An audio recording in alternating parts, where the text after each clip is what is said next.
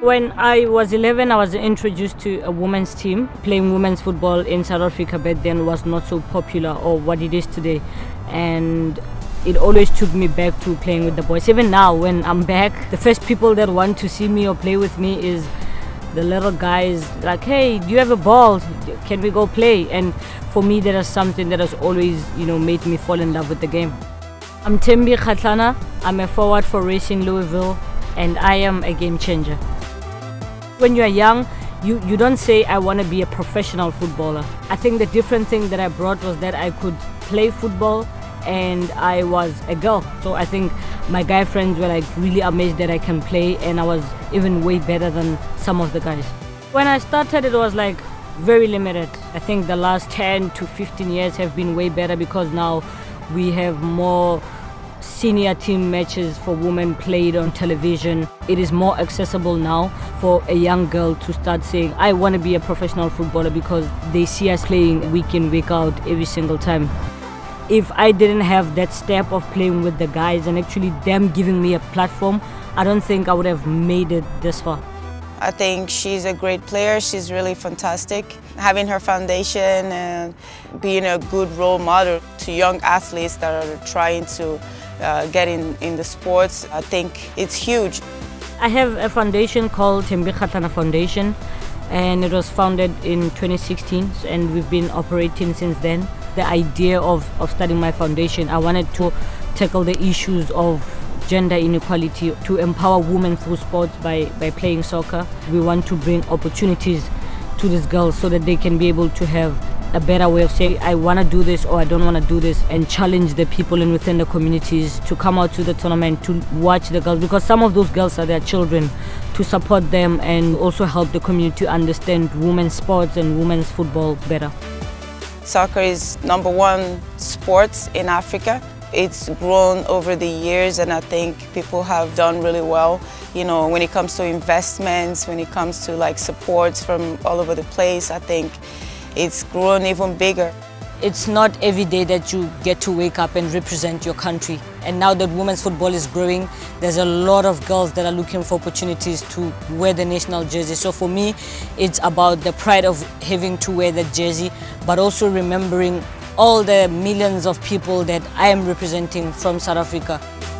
When I first moved to the US to play in the NWSL, it was tough for me because there was a huge transition between playing in South Africa and playing in the NWSL. When I got injured, I had just signed with Louisville three days earlier. It was a very difficult moment in my whole career. My injury was a complete tear of the Achilles tendon. When it happened, I didn't know what it was, but I knew that it was something bad because I thought I could stand up, but I had no control of, you know, of standing up. It was during the match and I could see the changes of faces in my teammates, you know, and I knew that they were really worried. I still, you know, supported the team from behind and reminded them of the goal that we had, which was to win the Africa Cup of Nations.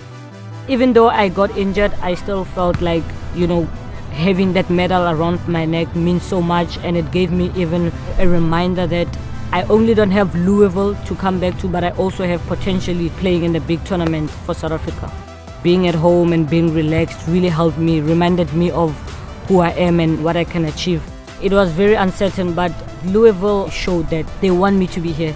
I went to the World Cup held South Africa. I won the Africa Player of the Year in 2018, the best goal in 2018, the top scorer in 2018, signed for the biggest clubs in the world. I've been to many continents.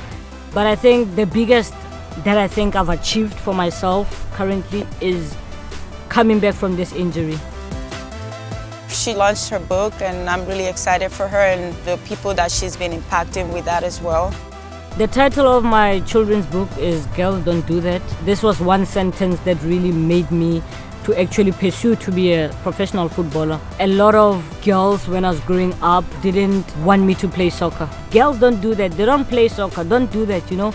So for me I was like, what do you mean girls don't do that? Because I am a girl and I am doing it girls can do anything. If I was young, then someone gave me a book like my children's book, I think I would have made better choices. I would have been in you know better spaces.